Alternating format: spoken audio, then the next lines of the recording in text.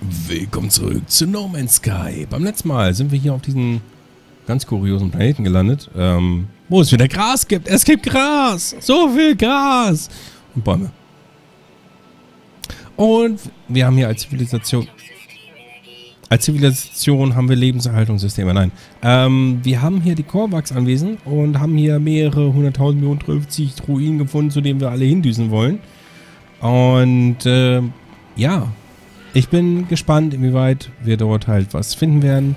Inwieweit wir, ähm, sag schon, dort was über die Zivilisation lernen. Hier können wir nochmal landen. Weil da ist irgendwas zum Entdecken. Landebereich nicht frei. Du mich auch. Warte mal. Bitte warten. Bitte warten. Irgendwo hier haben wir... Das ist krass, ne? Wenn du hier zu Fuß hin willst, dauert das fünf Stunden. Das muss man sich mal reinziehen. Und dann gibt es vielleicht auch Leute, die, die so viel Lust und Laune daran haben, einfach nur herumzulaufen, die Welt zu erkunden, dass sie tatsächlich die fünf Stunden auf sich nehmen. Für mich wäre das tatsächlich, muss ich zugeben, nichts. Ähm, aber irgendwo hier war doch jetzt hier ein Punkt zum Entdecken da. Da will ich nochmal hin. Weil da konnte ich ja jetzt nicht landen, weil wegen Bäume. So ein, zwei Stück. Mal 100. Deswegen müssen wir halt da zu Fuß hin. Was jetzt auch immer da unten sein mag. Eine Ruine. Ist ja passend. So, lernen wir hier vielleicht schon mal was über die Dinger hier kennen. Haben jetzt aber auch hier nichts wirklich irgendwas Interessantes. Überreste von Nonerosen. Der gute alte Nonerosen. Die uralte Markierung summt in einer Frequenz, die sich tief in mein Innerstes gräbt und mich mit den Stimmen der Korvax-Echos erfüllt. Wissen pflastert den Weg zum Verständnis der Wahrscheinlichkeit. Der Atlas sprach in Fragmenten, die Atlas-Schnittstellen sind ihre Schatten. Die Monolithen sind ihre verstreuten Kinder. Zusammen vermitteln sie die Weisheit des Unendlichen. Sie müssen verstanden werden. Ja, ihr auch. Mein Wissen über die Korvax-Konvergenz wächst. Yay. Korvax-Wort für Virus gelernt. Mein Ansehen bei den Korvax hat sich auch verbessert. Ist ja toll. So, müssen wir halt nur noch irgendwie zum Schiff wiederkommen. Weil ich ja so toll geparkt habe. So bitte nichts. Aber das kriegen wir hin, glaube ich. Hoffe ich. Ich habe keine Ahnung. So, und nebenbei wollen wir ja immer noch unsere ganzen unsere ganze Ausrüstung verbessern. Unsere Waffen, unsere oder unsere Waffe, unser Schiff. Einfach alles. Einfach alles mal so ein bisschen, weißt du? So auf Vordermann bringen bei Gelegenheit. Allerdings ist es bisher noch nicht zu dieser Gelegenheit gekommen. So, nichtsdestotrotz Okay, das sind einfach nur Felsen, nicht irgendwie weitere Ruinen. Ich werde mich weiterhin da in die Richtung gegeben. Mal zwischendurch gucken, vielleicht finden wir nochmal einen Inventarplatz oder so. Das wäre ja auch mal wieder ganz nett. Aber wir haben zwar inzwischen einiges an Inventarplätzen. Also wirklich einiges. Aber wenn man noch mehr kriegen kann, warum nicht? Hier haben wir nochmal Korvax, die wohnen hier. Da drüben auch. Glaube ich. Achso, hier haben wir nur so ein, eine kleine Containersiedlung mit nur einem Container. Da wird nicht so viel drin sein, aber da haben wir es auf jeden Fall erkannt. Auch wenn hier irgendwo ganz tolle Tiere sind. Ach, hier, so Riesentiere. Die alle schon mal entdeckt wurden von diesen äh, Nils Polski hier. Was haben wir denn hier? Also hier nichts. Multiwerkzeugtechnologie, die wir bereits kennen. Es ist so, ja, immer noch so, dass wir jetzt inzwischen das meiste leider kennen. Wir müssen es halt nun mal langsam einbauen. Ne? So, nebenbei haben wir so ein bisschen so als, äh, in Anführungszeichen, Hauptquest ähm, einen Signalpunkt sollen wir finden. Einen bestimmten. Indem wir dann vorher einen Planeten scannen und so was. Oder umgekehrt. Wie soll ein Planeten scannen? Ich habe keine Ahnung. Es ist ein bisschen her. Und die Anzeige unten rechts, die da manchmal erscheint, ist auch viel zu kurz. Noch so eine Containersiedlung, aber auch ein Wissenstein. Soll sich auch lohnen. Na und ich möchte ja immer noch so ein bisschen was mehr über die Korvax erfahren. Wir wissen, die Gags sind eine Art Händlervolk. Früher die Erstgebrüteten total aggressiv und so was und niemand sollte sich dem widersetzen. Die, äh, die Viken, kriegerisches Volk. Ein großes Soldatenvolk. Das auch früher schon ehrenhafte Krieger waren und hast du nicht gesehen. Und über die Korvax wissen wir bisher nicht wirklich viel. Was ich weiß, ist, dass die irgendwie so auf die, die Suche nach den Lehren des Atlas sind und ja, im Prinzip sind alle gegen diese komischen Wächter, was auch immer diese Wächter angestellt haben. Und was auch immer es mit dieser komischen äh, Substanz auf sich hat, die wir manchmal finden in verlassenen Gebäuden. Das weiß ich nicht. Dich haben wir? Äh, da haben wir eine Pflanze. Super. Eine Pflanze, die ich entdeckt habe. Nicht jemand anders. Nick Polski. Ja, meinetwegen auch Nick Polski. Ja, egal. Oh. Kein Dingens mehr hier in der Startschubdüse. Muss man mal ändern. Ähm, dann wollten wir hier auch noch weitere von denen hier machen. Wo uns hier so ein bisschen was fehlt, meine ich. Äh, Elektronendampf haben wir. Aber auch nicht wirklich viel. Zink brauchen wir noch. Ach, ja. Ja, ja, ja. Ich, ich. So, aber jetzt erstmal ein Stückchen hier voran. Ich sehe jetzt auch keine große Korvax-Siedlung, wo man davon ausgehen kann, da wohnen 100.000 Millionen von den ganzen Korvax. Bisschen näher über die Oberfläche vielleicht. Um zu sehen, was wir hier vielleicht und dort nochmal so finden können. Man weiß ja nie. Hui. Eine Unterwasserruine. Okay. Und sowas habe ich jetzt tatsächlich nicht so wirklich gerechnet.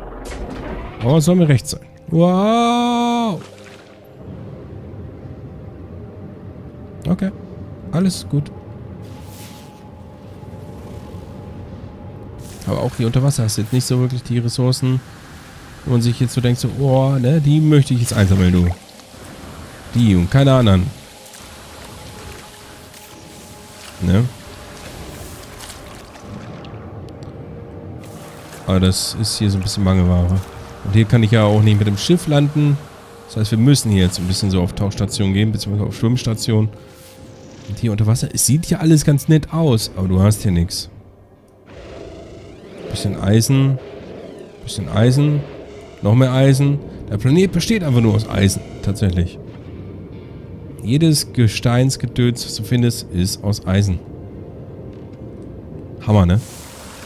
So, dann machen wir hier ganz kurz die Lebenserhaltung. Mal wieder auf Vordermann. Hier. Ui. Weil die, Unterwasserwelt ist relativ unspektakulär, wie ich finde. Ich meine, ist meine ganz persönliche Ansicht, aber... Ja. Das sind auch keine Fische, ist nur Dreck im Wasser. Ja, komm, tauch auf. Einfach damit mal so langsam hier mal wieder aufgetaucht ist. Damit ich mal wieder ein bisschen Sauerstoff bekomme. Bevor wir dann jetzt hier runtertauchen. Wo ich jetzt noch nichts finde. Aber da soll eine Ruine sein.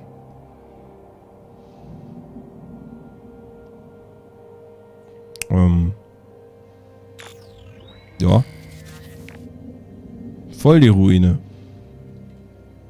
Wahrscheinlich noch weiter unterirdisch, so irgendwie im Boden drin oder sowas. Ich kann hier aber leider nicht zerstören.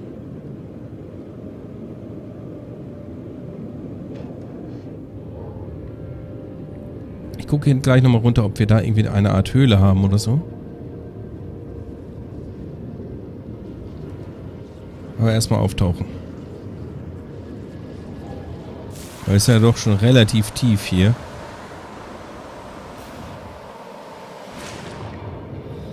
Also relativ.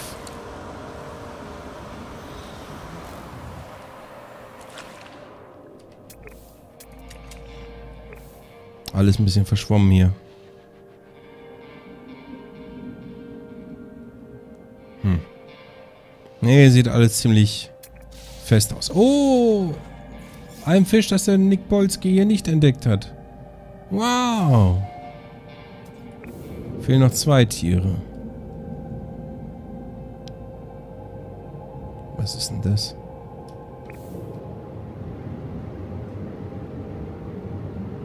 Ach so, du bist ein Wächter. Ah! Ein Unterwasserwächter. Na, prima. Da freut man sich ja auch.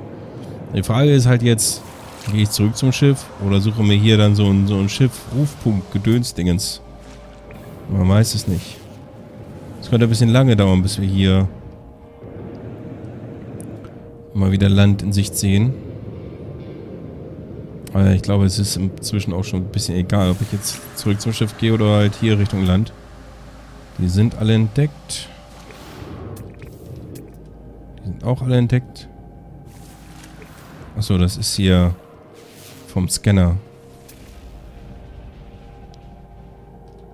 Dass hier halt noch, dann noch sowas fehlt, wie, wie, wie, wie ähm, zum Beispiel, weiß ja nicht, so ein, so ein, so ein Tentakelviech, so ein Unter Unterwasser-Dingen, so ein Oktopode oder sowas. Ich habe zwar hier Tentakelpflanzen, aber das war's auch schon.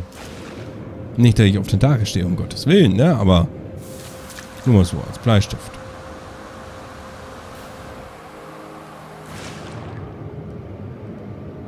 Ist ja nur eine anregende Idee. Weißt du?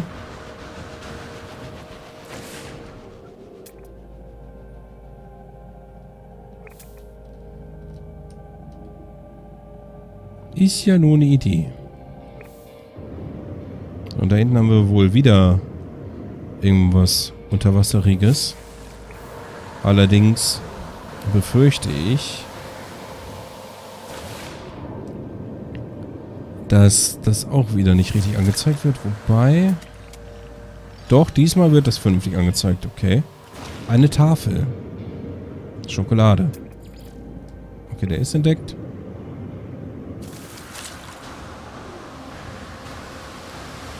So. Warum wir an der Stelle vorhin hier keine Ruine hatten, ist mir Rätsel, beziehungsweise ich glaube einfach mal, es ist halt unterirdisch, unter der Erde irgendwo platziert. Aufgrund Weltgeneratoren und hast du nicht gesehen. Kannst halt nichts machen. Tribut an Asveskunek Efka. Grelles Licht bricht aus der antiken Markierung hervor. Es umschließt mich und taucht mein Verstand in die Erinnerungen und Stimmen der Korvax-Echos.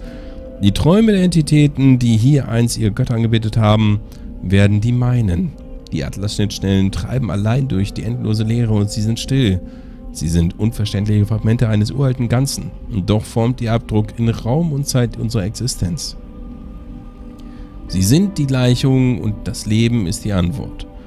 Durch die Monolithen verleihen sie ihrer grenzenlosen Bedeutung und unserer eigenen ein Verständnis. Wir bitten um Hilfe bei der Sprache. Wir kriegen ein Wort für Daten. Und mein Ansehen hat sich wahrscheinlich verbessert. Was ich hier so ein bisschen merkwürdig finde, ist, ähm, sonst hast du bei den ganzen Schreien immer so halt so, so ähm, eine Art Auswahl, was du denn tun sollst oder sowas. Das ist jetzt hier tatsächlich nicht der Fall in einer Stunde, in auch fast einer Stunde. Ich hoffe, dass ich hier zwischendurch nochmal ähm, ein, na sag schon, eine Station finde, wo ich mein Schiff rufen kann. Abgesehen jetzt hier von dieser, hey Mensch, da kannst du dir einen weiteren Außenposten aussuchen, Punkt. Nebenbei versuche ich hier auch immer noch Zink zu finden, wie zum Beispiel da hinten. Oh, das ist aber eine Höhle, du. Das ist aber eine Höhle, du, du, du.